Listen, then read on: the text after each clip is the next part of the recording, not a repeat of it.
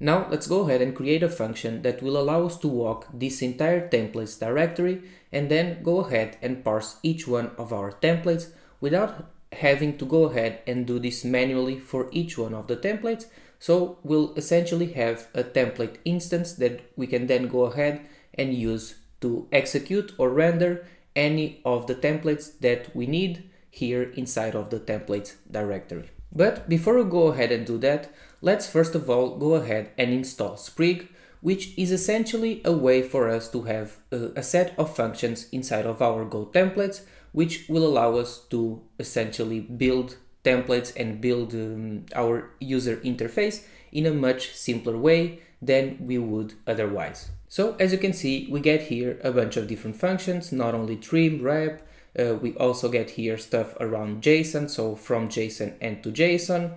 But the one that we'll be using the most is going to be here the dictionaries. So we can go ahead and pass to each one of our templates a set of data that we can then go ahead and use inside of those templates. Before we continue, if you want to learn more in depth how to build a SaaS application from scratch using HTMX and Go and get one-on-one -on -one help when doing it, click the link below to join the HTMX Go SaaS Blueprint, a complete A to Z course on how to build and launch a SaaS application using HTMX, Go, PostgreSQL, and other technologies. I'm still building the course, so if you want to get notified and get free access to exclusive videos before they are released, go to webdevfuel.com forward slash HGSB or click the link in the description below to go ahead and sign up. So let's move back here to our project directory.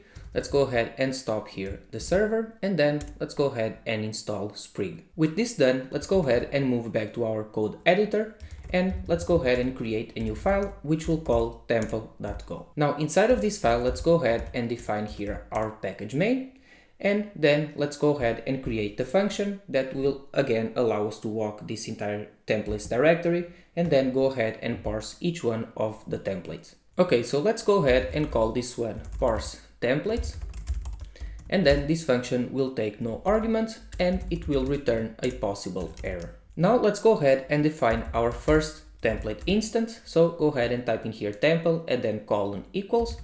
And then let's go ahead and grab here template from the HTML package. And finally, after doing this, let's go ahead and say here that we want to use the new function. Then we'll pass in here an empty string. And after doing that, let's do the following. We want to use here the funcs method. So we can go ahead and pass into this method our Sprig functions. So let's go ahead and say that in here we want to grab here Sprig and then we want to use this function map method.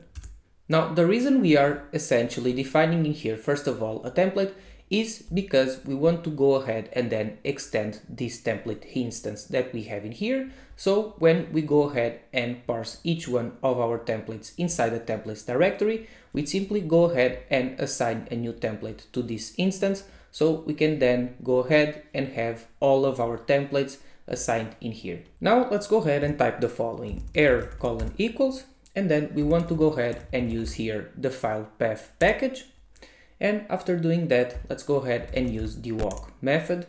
And in here, the first argument is going to be the directory that we want to go ahead and walk. So in this case, it is templates. And the second argument is going to be a function that, as you can see, because of the Go language server, we get all of this auto-completed for us. But what we essentially need in here is first of all the path, then we also have here info, we could, which we could can go ahead and safely ignore. And after that, we also get in here the possible error that might occur when we are trying to walk this entire templates directory. Now let's go ahead and save this so this gets correctly imported. And after doing that, let's go ahead and define all of the stuff that we need inside of this function. First, let's start by checking if our path that we get from here is a .html file. So let's go ahead and type in here if strings contains, and then we want to do the following. The first argument is going to be the path, and the second one is going to be the thing that we want to check if this path contains, which in this case it is HTML. Then let's go ahead and do this. and if this doesn't contain a uh, .html inside of this path, then we simply want to go ahead and return down here the possible error, which could be an actual error or nil. And now let's go ahead and take care of all of the stuff that we have inside of this if statement. First of all, let's go ahead and read this entire HTML file into a slice of bytes. So let's go ahead and say in here temple bytes. Then let's also grab the possible error and let's go ahead and use the OS package and then go ahead and type in here read file. In here, we want to go ahead and pass our path and then let's go ahead and handle this error. So if the error is different than nil, we go ahead and return the error back to this parse templates function. Now, if we were able to correctly read this file, we can go ahead and parse this entire template. So let's go ahead and ignore the first value. Then let's go ahead and grab here the error. And then we want to go ahead and instead of using template.new, we want to go ahead and use this temple instance. So let's go ahead and say temple.new. Then in here, we want to go ahead and pass our path. Then let's also go ahead and use the functions method. So we can go ahead and pass in here all uh, of our functions from Sprig. Then let's go ahead and say in here parse. And in here, we want to go ahead and use this string uh, function. So we can go ahead and uh, essentially transform this slice of bytes into a string. And now with all of this done, let's go ahead and handle this error. So if the error is different than nil, we go ahead and return it. So let's go ahead and take another look at everything that's happening in here. First of all, we go ahead and check if the path contains that .html. So in other words, if this is an HTML file, then we go ahead and read this into a slice of bytes. Then we go ahead and parse this entire template so we go ahead and not only parse the entire file, but also all of the defined blocks that we might have inside each one of those files. And finally, let's go ahead and handle this stuff down here. So if the error is different than nil, we want to go ahead and return the error. And if not, we simply go ahead and return here nil. And now let's go ahead and ensure that we can access this template instance in the rest of our code. So let's go ahead and define a new variable here. Let's go ahead and call this one temple. And this is a pointer to template.template. Template. And to keep things simple, let's simply go ahead and rename this from temple to t. And let's go ahead and do the exact same thing down here. So we want to go ahead and rename this one also. And now if we arrive at this point on our code, which means that everything went well and we didn't have any errors, we can safely go ahead and do the following. So we want to say temple equals t. And finally, let's go ahead and save this file and let's go ahead and give this a try inside our main.go file. So here, after we go ahead, open the DB, then we close the database and also set up all of our migrations, let's go ahead and do the following. We want to say error equals, and then let's go ahead and parse all of our templates.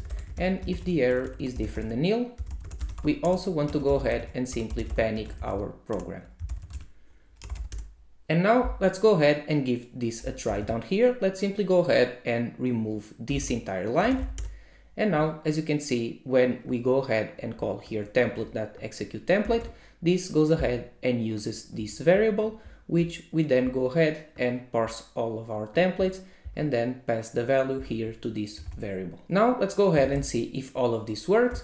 So let's go ahead and start here our server. And then let's go ahead and move back to our browser. And if we navigate here to local uh, host port 3000, as you can see, this is working correctly. And that's because we went ahead and again parsed through all of these files, including the index.html that we have in here. And since we have here our defined base, and then here inside of the main.go file, we go ahead and call this template, this renders correctly.